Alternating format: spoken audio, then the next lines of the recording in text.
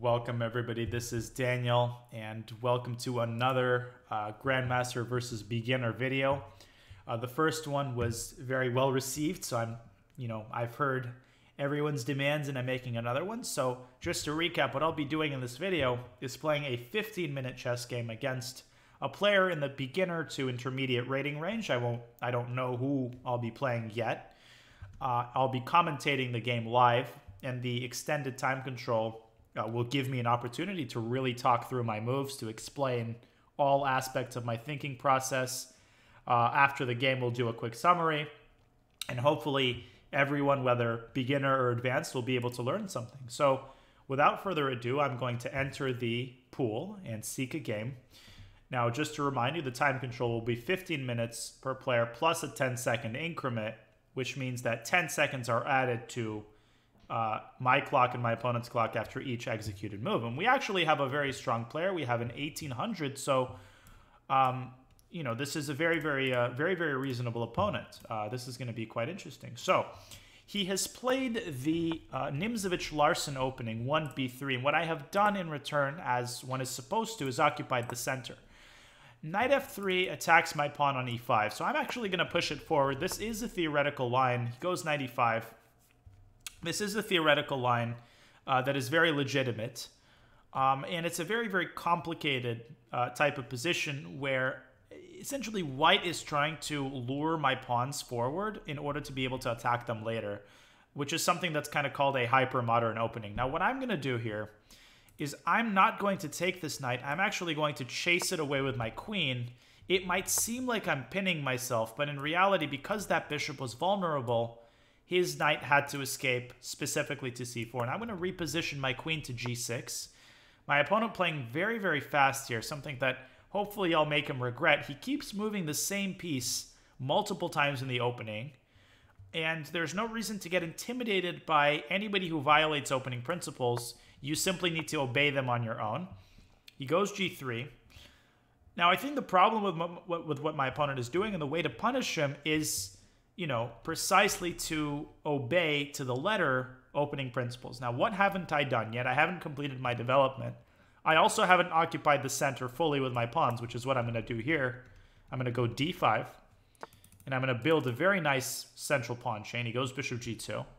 Now, you know, all that is left is for me to develop my pieces. What I'm going to do first is develop my bishop to e6 to buttress that e5 pawn that is not what I mentioned. That was a bad error. He castles.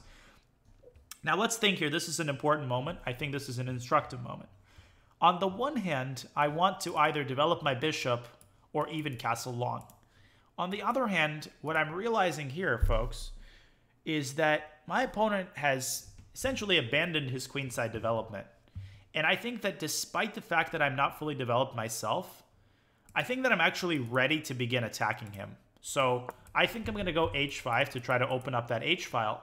He's played h4. Now I've softened him up a little bit here, and now I can continue developing. So now I'm going to castle long. And this pawn on g3, mark my words, I'm thinking of potential sacrifices. He goes a4. Wow. So very creative play. Definitely not objectively sound. And once again, in order to refute this, it's important not to panic. It's important to complete one's development and then only sacrifice or start attacking when you're ready to do so. He goes king h2, which, wow, continuing to play very quickly. I'm speechless.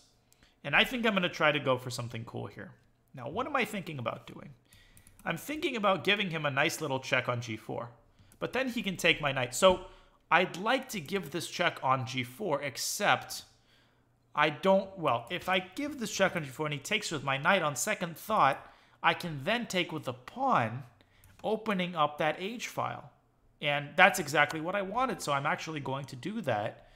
And if you notice, I'm actually threatening to take his pawn. He's got to drop his king back to g1. I think that's the only serious move he's got. He doesn't do that. He allows me to take on h4 with check. Now, do I want to rush with that? I can actually go bishop e5 first getting that bishop out of, you know, the sticky spot that it's in. Now we take on h4, and now we're going to go for a nice, beautiful little finale. He's definitely, this has caught him by surprise, and he has already resigned the game. So you know, on the one hand, I want to play another one. On the other hand, I think that this was actually a very instructive game. So I am going to make, hopefully, an instructive moment out of this. This is what happens, ladies and gentlemen, when you violate shamelessly opening principles. You just can't do that. Now, why did he resign here? After King G1, I think that I have a very nice way to finish this game, and that is by playing Queen H6, simply sacrificing the rook. Now, it doesn't take very long to see that despite the fact that I've sacked a rook, Black's got absolutely overwhelming pressure on the king side. I'm threatening checkmate. His only way to stave the checkmate off is to go rook e1. But now after something like g3, all of my pieces are pouring in. For example, takes takes, you know, let's say he goes e3. First of all, I can take the rook and, you know, uh, winning the rook back. I can also go bishop g4. I mean, I'd welcome you to, you can dig around this position yourself to see the abundance of mating ideas that black has here. But there's no doubt in my mind this is completely crushing. Um, and so for that reason, he resigned. If he doesn't take my rook and he goes something like b4, one very elegant win is to actually send that rook to h1 in order to make the bishop vulnerable. I'm threatening to capture it with checkmate. And after bishop g2, well, of course, this is also checkmate. So for that reason, my opponent resigned, which was very sensible. Now, one thing to point out here is that the, the opening that my opponent played is actually not a bad opening. Now, knight e5 is inaccurate. Knight d4 is a better move, and the reason you play knight d4 is that the, the knight can be supported with e3. But it's very important to point out that um, when you're not a very advanced player or you're not very experienced, um, it's very, very difficult to play in this kind of style. Now, this is something that very strong players can actually get away with. You can violate opening principles strategically and still get a decent position. That's what modern chess is all about. But my recommendation to any of the viewers who are thinking about playing offbeat openings is to first get comfortable playing sensible classical openings in order to get your head around opening principles and only when you feel very, very comfortable with opening principles, developing your pieces, occupying the center, can you start deviating a little bit and experimenting. Now, in this position, I think d4 would have been interesting, at least making a claim in the center. My opponent instead goes knight c4. I position my queen on this very, very nice g6 square.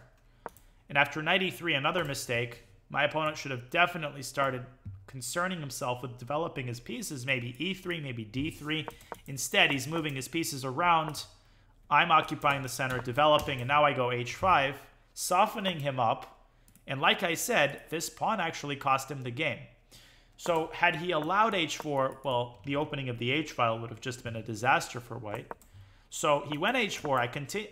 Notice that I don't do anything drastic. I didn't play d4 here. I just continued to develop my pieces until everything was in the game, and only now do I launch sort of the decisive invasion. Again, I think that in this position, d3 was absolutely called for, and this was maybe the last chance for white to at least have a fighting shot in the game. Uh, but after king h2, I noticed that the king walked right into this pin, which means that this g3 pawn is actually not defending h4. Had he stepped back with his king, I probably actually would have sacrificed anyway and then gone queen h6, queen takes h4. So this is just so overwhelming. Notice that I also was patient here. I didn't take on h4 immediately because, well, I didn't want this tension uh, to bother me. I played bishop e5 first, attacking the rook, and only after he defended it did I take on h4, and here he resigned. So a very one-sided game. I think my opponent played too quickly. He played too creatively, but hopefully an instructive game nonetheless, and hopefully a game that serves as a cautionary warning to a lot of you who experiment with offbeat openings. It is absolutely crucial, first and foremost, to adhere to solid opening principles to develop your pieces. Without that, you're going to have a debacle just like my opponent had in this game. Thank you, and um, I'll see you in the next video. Hopefully, the next game that I play uh, will be a bit longer but nonetheless, I hope that you enjoyed and uh, feel free to comment and uh, feel free to discuss this game as well as any other interesting games in the comments below. Thank you very much, and um, I'll see you in the next video.